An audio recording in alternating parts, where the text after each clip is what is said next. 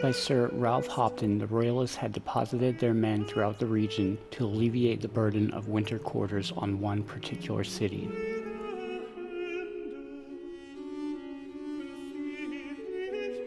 Sir William Waller did likewise for Parliament's army, and with the exception of small wars, December of 1643 was a reprieve from the Civil War. The Earl of Crawford was placed in charge of the Royalists stationed in Alton. Crawford requested Waller to trade a runlet of sack, a term used for wine, and in trade he would offer the enemy commander an ox. When Waller produced the wine, Crawford jeered at Waller to come and collect the ox. The cause of such disrespect was due to a sharp decline in Waller's reputation the previous months. At the Battle of Roundway Down in the summer, the parliamentarians had the Royalists on their heels in the southwest. Expecting to eliminate Hopton's haggard and retreating men, Waller and his army fixed their position on high ground to meet an enemy detachment from Oxford. Being outnumbered and facing an enemy with better ground, astonishingly, the king's horse attacked Waller's men. The parliamentarians were unable to match the spirited cavaliers and fled down the steep slopes behind them, including a sudden unseen precipice 300 feet deep, now known as the Bloody Ditch. Parliament's infantry were bearing the fight against the enemy. Once Hopton arrived, the rebels fled in disorder.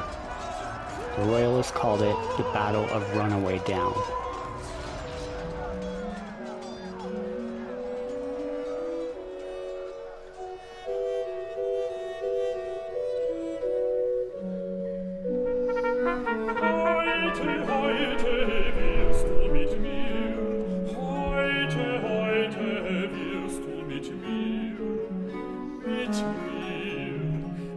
The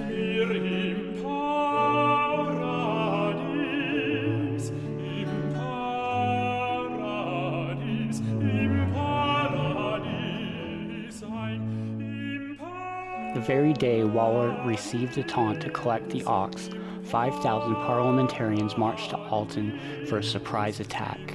At dawn, the startled royalists were forced to condense their defensive position at St. Lawrence Church. Effectively using outbuildings, breastworks, earthworks, and makeshift scaffolding inside the church to produce multiple tiers of firepower, the estimated 1,000 royalist soldiers were able to hold against Waller's army.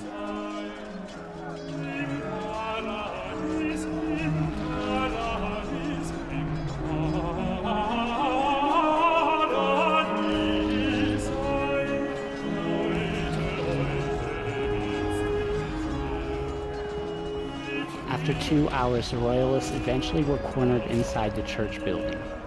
From a breastwork of stacked dead horse, Colonel Bowles declared the first man of his to surrender was to be run through by his own sword. Bowles is said to have killed seven men himself before finally expiring that day.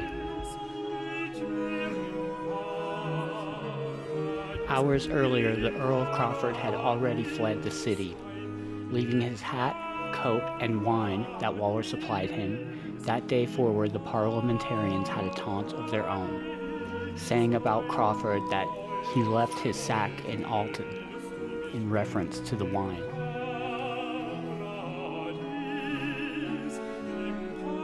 Colonel Bowles, however, was left with an epitaph in the Church of St. Lawrence.